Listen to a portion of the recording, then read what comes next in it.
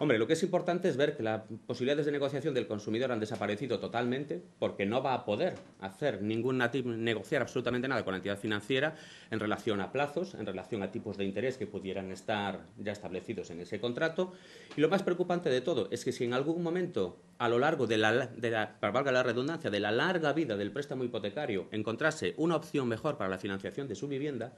tendría que hacerse cargo de los cargos, de los gastos de cancelación de la primera hipoteca y posteriormente, si las cosas, si el futuro se lo,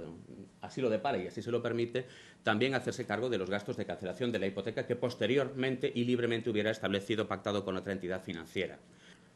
Lo que va a poder hacer, lo que va a tener que hacer es acudir a la vía judicial, sí o sí, y prácticamente no le va a quedar otra opción.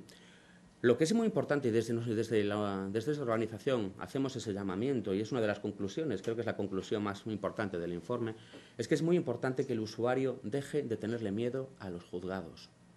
sobre todo cuando estamos hablando de vivienda. Estamos hablando de la inversión más importante que va a llevar a cabo a lo largo de toda su vida. Estamos hablando de muchísimo dinero. Y no merece, no es increíble ver cómo, por un lado, no se dedica el tiempo suficiente a planificar la compra de la vivienda, Cómo a veces es curioso que nos pensamos más si nos compramos otros artículos de consumo, le damos más vueltas y lo planificamos y lo pensamos mucho más que a la hora de comprar una casa y que por lo tanto no debemos tener miedo a llevar a los tribunales a aquella persona que nos ha vendido ese producto y que nos lo ha vendido infringiendo la ley o nos lo ha vendido con una serie de defectos.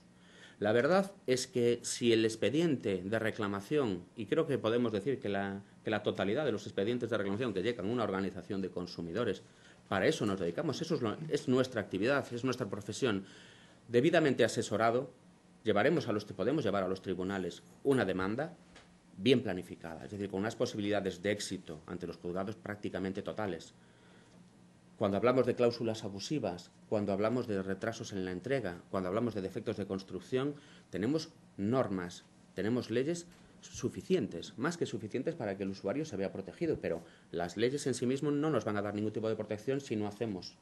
que se cumplan. Si voluntariamente no se hace, tendremos que acudir evidentemente a un juez para que haga, que sean cumplidas a la fuerza, en este caso. La que teníamos hace tres o cuatro años en las que había eh, pues una actividad de contratación muy alta, es totalmente distinta.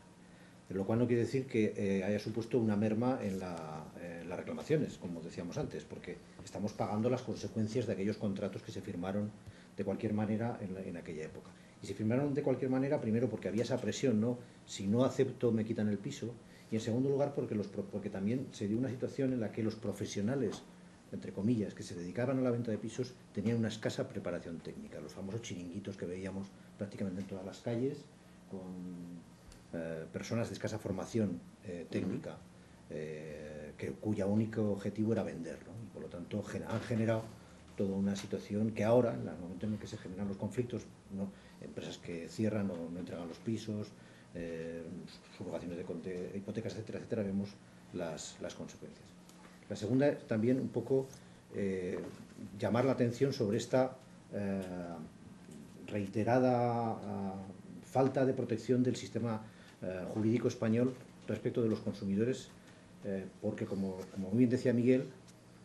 las actuaciones de las autoridades de consumo se traducen en sanciones a las empresas, pero no en restitución del daño a los consumidores.